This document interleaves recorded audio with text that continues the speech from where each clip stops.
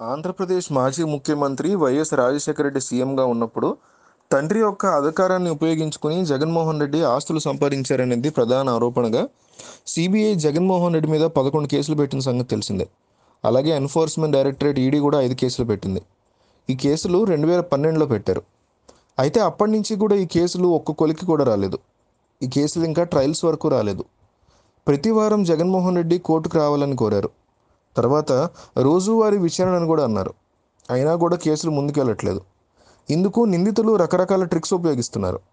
ఎలాగైనా కేసులు మరింత లేట్ చేయాలని డిశ్చార్జ్ పిటిషన్లు క్వాష్ పిటిషన్లు వేస్తున్నారు. ఎప్పటికప్పుడు కేసు సాగదీలా చేస్తున్నారనే ఆరోపణలు ఉన్నాయి అయితే ఈ పిటిషన్లు కూడా ఒక్కొక్కటి వీగిపోతూ వస్తున్నాయి. దీంతో మరో ఎత్తుగడకు తెరలేపినట్లయింది. ఈ క్వాష్ పిటిషన్లు విచారణ దశలో ఉన్నవి ఉపసంహరించుకోవడం మొదలెట్టారు. ఈ ఎత్తులు గమనించినటువంటి సిబిఐ తీవ్ర అభ్యంతరం తెలిపింది.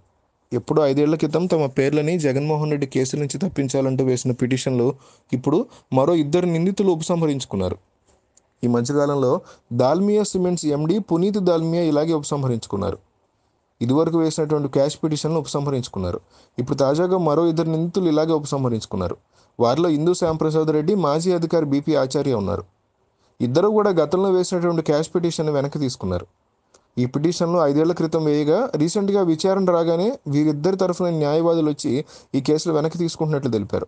దీనికి కోర్టు అనుమతి కావాలని కోర్టును కోరారు. అయితే ఈ ఎత్తుగడని పసిగట్టినటువంటి సిబిఐ తీవ్ర అభ్యంతరం తెలిపి ఇంపాసిబుల్ అని మొహం మీద తేల్చేసింది. ఎప్పుడు ఐదేళ్ళ పాటు ఈ కేసు మీద స్టే తీసుకుని ఇప్పుడు విచారణకు రాగానే వెనక్కి తీసుకోవడం పట్ల సిబిఐ న్యాయవాది అభ్యంతరం తెలిపారు. ఇక్కడ వెనక్కి తీసుకున్నటువంటి వాటిని మళ్ళీ కింద కోర్టుకు వెళ్ళి అక్కడ ఏదో ఒక వివాదం మళ్ళీ రేపి మళ్ళీ కేసులు లేట్ చేసే వ్యూహంలో ఉందని కోర్టుకు తెలిపారు.